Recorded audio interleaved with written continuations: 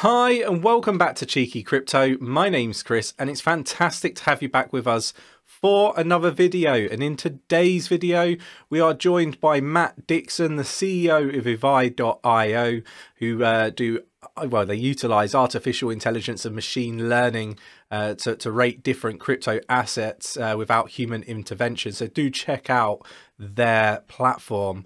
Um, links in the description of the video. Um, and Matt has over 18 years um, pro trader experience, and he's going to sort of dig into to the TA on several different projects with us today. The likes of um, Mana, Sandbox, Meta Hero, Litecoin, Bitcoin. It's an action packed one. If you like this sort of content, mash that like button, subscribe if you haven't subscribed already, tapping that bell, selecting all the notifications so you never miss a video. And before we get down to, to the desktop to, to chat with Matt, do check out our Discord. It's free to join. Uh, we do surprise AMAs, um, lots of different chat rooms and uh, stuff on our server where you can chat with like-minded individuals that really do like the projects that you're interested in. We obviously feed in lots of news from all these different protocols as well. So it's definitely worth sort of being sort of kept in the know. So do join our Discord. It's free to join. And we do have a Patreon now as well, where you can join up. Nick does uh, lots of um, sort of learning exercises around um, TA. Um, we also highlight um, various other opportunities in the crypto space uh, to our Patreon members uh, with live streams, live chats, bit like Teams meetings, that sort of stuff. So do check that out. Links in the description. Right, with all that said, done, and out of the way, let's get down to the video call with Matt and get into all of these different wonderful projects and see what's happening in the future. Okay, welcome guys. Welcome Cheeky Crypto community. It's a pleasure to be back. And we've had a really exciting week. Um, maybe exciting for some, maybe not so for others. But there's been some real opportunities highlighted in the charts that we've seen. So I wanted to start with Zilliqa, um, one that I always touch on and touched on as a um, another barometer for the market. In fact, there's so, so much correlation between these cryptos that you can look at virtually any of them. But I used Zilliqa. The reason I liked it was because it looked as though it was showing a triangle formation. And that was actually broken this week with a sharp fall in the market. But I think it's really good to look at it because we got the, well, I say we, I got the chart pattern wrong. Um, I had this counted as A, B, C, and I was looking for it to turn into a triangle. Um, the A down here, B was up here, C down here. And you can see we broke below the level of the A wave here. Now, what that means is your triangle is broken. But why this is so good, whilst I got the wave count wrong, this just teaches you a little bit about risk controls. So as soon as we break the level of wave A, we know the triangle is no longer valid. So basically that is where I place my stop loss.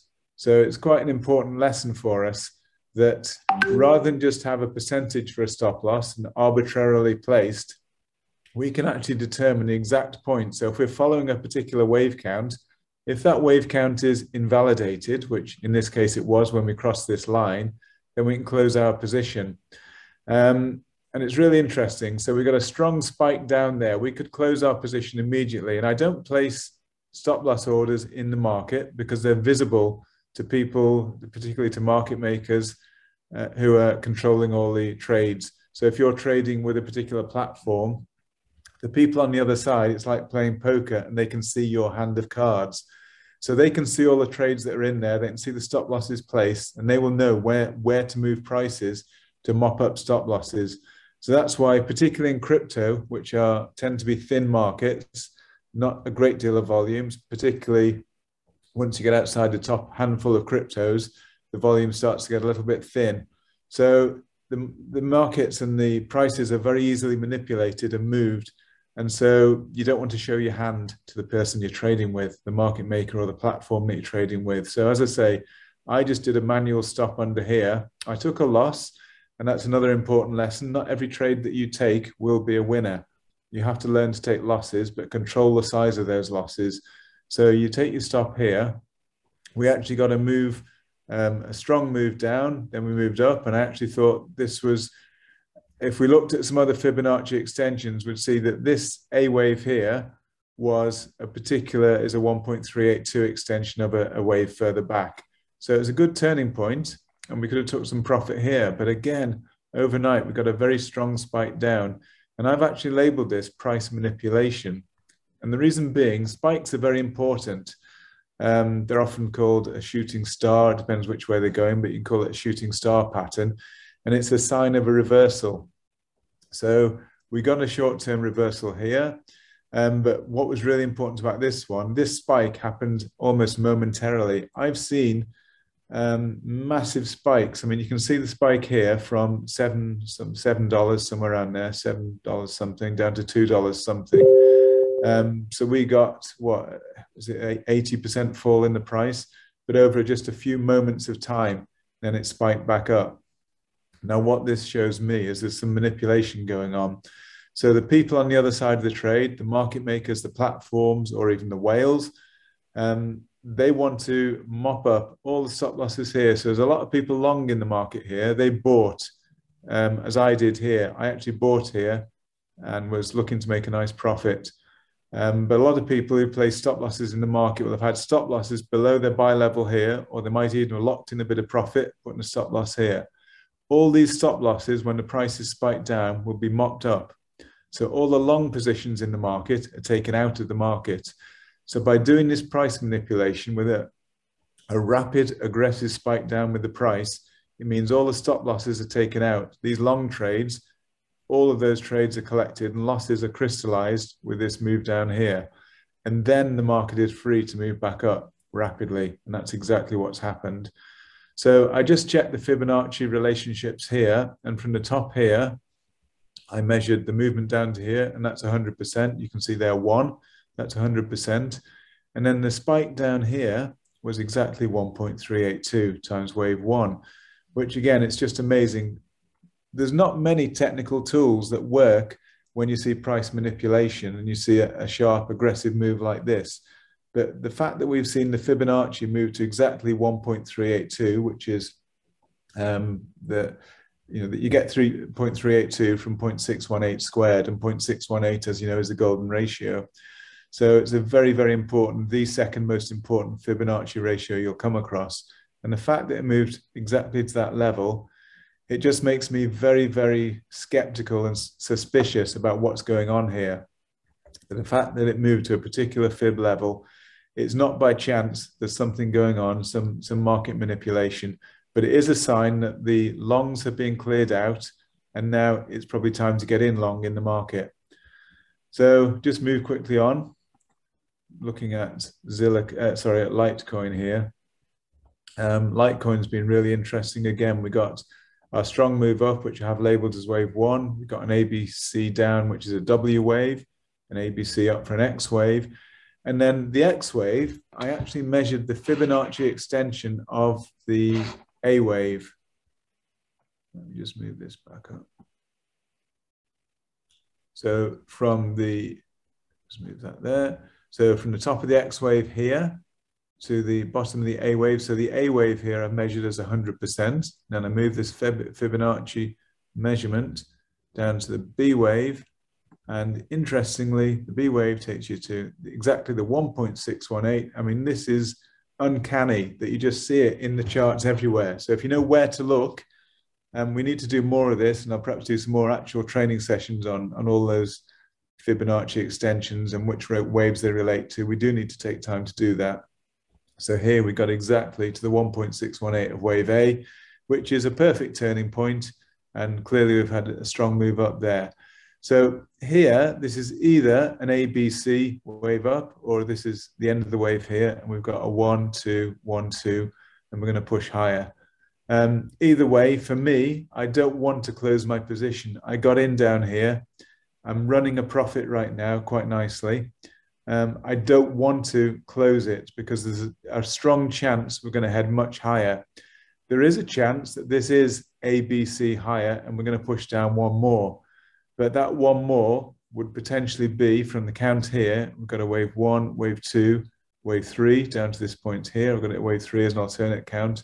This would be an alternate wave four, and we'd have a final wave five down, which I've got a question mark here. Final wave five. then the Y wave would actually just move over here a little bit. So I'm not certain about it, but I'm prepared to hold even a, a small loss here if it goes into loss. I'm in profit right now, but if it comes down, I'm prepared to hold the loss because then we'll have a completed on the final C wave, five wave move down, and we're going to get some strong movement up.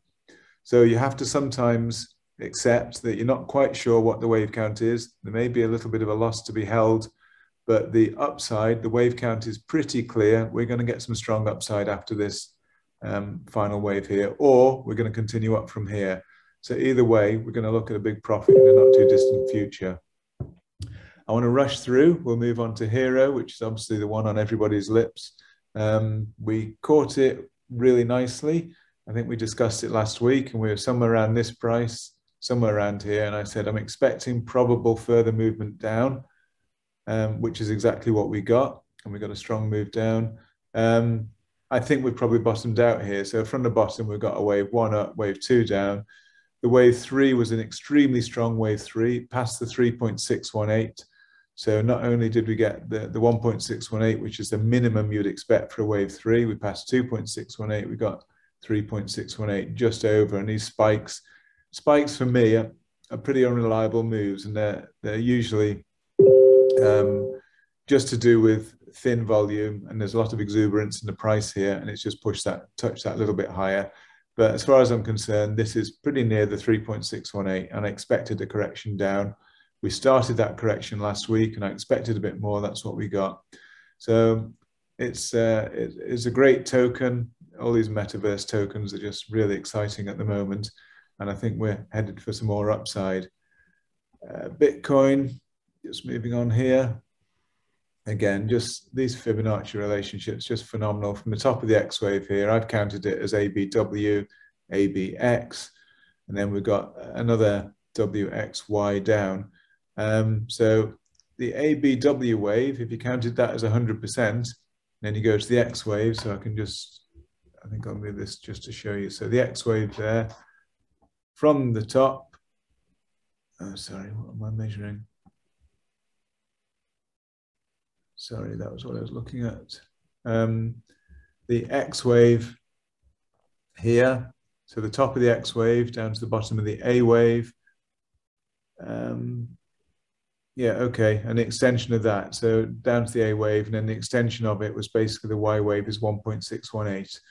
So it's another interesting extension there that went almost the very cent to the target there. And then we moved up very strongly from that. Um, and again, I think that we've seen the bottom on on Bitcoin. I think the WXY correction is complete. So I believe the correction is over and we're going to move, I believe, to new all-time highs. It won't move in a straight line. So when you jump in, you have to bear in mind. So for example, if you were to jump in here now, your actual stop loss would need to be quite a lot lower. So if you've been watching and saw this price around the 42 level, uh, again, when you look at the correlation between different cryptocurrencies, you'd see this was a great place to jump in. And now if you're in a position, you can be holding it and had, had a stop loss just around here, a manual stop loss. As I say, I don't place automated stop losses because they're you're just showing your hand to the market makers. If you're in here, if you jump in now, you have to bear in mind you could potentially see a bit of downside if we were to invalidate below this point. So that's why it's very important to analyze this. I look at my charts I'm looking at them most of the day actually, but you need to look, be looking at them at least twice a day if you're looking at these fib wave counts, because you'll get these strong moves, particularly the spikes. And spikes are a great indicator that nobody actually really thinks about. If you think about all the indicators, I can tell you technical analysis of its own does not have any predictive value. All of my studies have been into what's called efficient market hypothesis, and that basically tells you all the academic theory throughout history has told you that technical anal analysis does not predict where the markets are going. There are some aspects of TA that can be a little bit helpful in terms of circumstantial evidence, but you cannot predict the market. That's, that's a certainty. But there are some, some exceptions. And one of the, the exceptions, I wouldn't call it TA exactly, but when you see a strong spike like this, you're seeing exhaustion you're seeing the market makers pushing price down to take longs out of the market. Exactly what I was just telling you on Litecoin. This is manipulation, really, where they're moving prices down to pick up all those long positions to knock them out effectively so that they can then move the price up. And it's if they're trading against you, which is what's happening, they want to take out the longs before they move the price up. And that's exactly what's happening here. You need to understand what these market makers are doing because they're working against you. And when you can understand their logic and mentality behind what's happening with the price, you're in a much stronger position to make profits. So just move on very quickly because we're taking it's a, a big session today. So once again, we got um, really nice move to a, a, solid wave three here. So wave one, wave two, um, right from the bottom here, this actually coincides with the bottom price here. You can see to the top, I use that as the 100% move. Uh, well, it's actually a 300% move. And then we got a move down to 1.618, which is ABC. Perfect correction. Again, I think a great time to jump in. If you could have jumped in anywhere around here, and I love this 0.618. It's always one to look out for as the, the fibs, the 1.382, but above all 0.618. And so anywhere around here was a good time to be looking to buy into the market. We got a strong move up. And for me, I'm just accumulating everywhere I can. I don't just pile everything in in one go. I think I've mentioned this before. You need to scale into your position. So I'll start buying here. And if it does drop a bit lower, I'll be scaling, scaling. So it's this pound cost, dollar cost, Bitcoin cost averaging that I've been talking about in previous weeks, where you need to average your buy positions. You never know for certain whether you've caught the exact point at the bottom of the market, but use these fib extensions as indicators that it's a likely turning point and then start scaling in at those points. Um, so that was Sand, Sandbox. Um, again, amazing token um, you can just see the, the extensions are, are really exaggerated. And I think we're going to go a lot higher with these. There's going to be a lot more upward movement in the market to come before we get any major turnaround. So these big corrections that we've had, they're just our buying opportunities. So the people who chase the markets higher, they've usually got nothing left to come back in when the market tanks, as it did the other day. This is why don't ever commit all your funds to the market. And when the market does correct strongly, that's the time when they say there's blood in the streets. That is the time to be starting to accumulate and to average your average your trades back in. But don't ever commit all your money in one go, otherwise you will end up um, crying over spilt milk at some point. Finally, we'll just touch on mana. Um, lovely token again. We got the um, very interesting the extension of wave one here, the wave three, uh, four, five, so that the move from wave, wave one was exactly two times wave one. Two times isn't an actual Fibonacci extension, but it really, um, but it is actually just interesting. You often see waves that match. So, for example, the most common relationship between wave A and wave C is actually equality. So that's a, a one relationship. You will often see two times as well. I, I do look for it among my relationships that I've got there. So I don't use 0.236 much. I use 0.382. Um, you do often see a 50% retracement, so I use the half. Uh, 0.618 is obviously the favorite. I don't use 0.786 much. I use one times, 1.38, 1.618, and two times. And then you go, you can go 2.618, 3.618, and then normally 4.2 uh, not 4.23.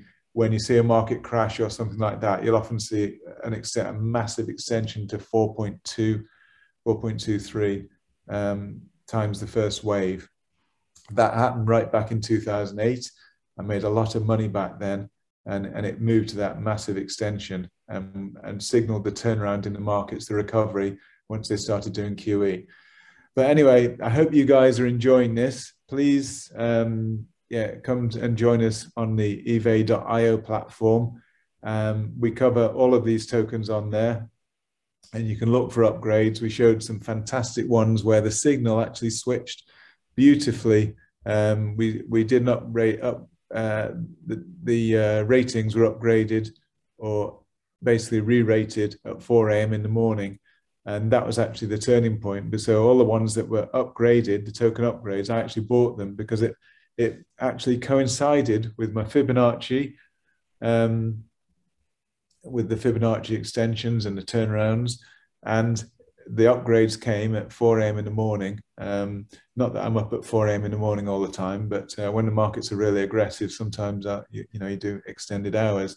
So we got the turnarounds there, and some of them you got some massive gains. You na- we nailed the turnaround on the spot. So when these tokens got upgraded, and there was a coincidence with the uh, my Fibonacci and Elliott wave analysis, then that was a buy opportunity. So great time for people to buy in. So as I say, hope you've enjoyed it. So join us at Evai.io. Join me on my trade group on Twitter at, at MD Trade. So um, hopefully some of you guys will be joining me there. That, I've only just started that, but it's already growing quite quickly and people are enjoying the content. I'm able to put content out on a daily basis there. So you'll then see daily up, um, the daily sort of uh, updates on the trades that are going on and, and some of the charting that I'm doing. So thanks very much, guys. It's been a pleasure to be with you and look forward to being with you again next week. Thank you. Thanks, Matt. So that was Matt from uh, Evai.io. So do check out their platform. Link is in the, the description of the video. Um, you know, the uh, unbiased, decentralized AI uh, and machine learning rating platform for crypto assets. So do check that out. And don't forget to, to join up to our Discord. Link is in the description. Uh, lots of reasons that I mentioned at the start of the video. And don't forget to check out our Patreon as well. We'd love to have you join, uh, uh, join us over there. Um, if you enjoyed the content, mash that like button, subscribe if you haven't subscribed already, tapping that bell, selecting all the notifications so you never miss a video. And, um, you know, I just want to take the time to thank you for, for watching today and I'll catch you in the next one.